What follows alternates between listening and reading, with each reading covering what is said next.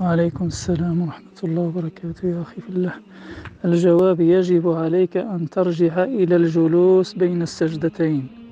يجب عليك أن تجلس من القيام وتجلس ثم تسجد السجدة الثانية التي بقيت عليك.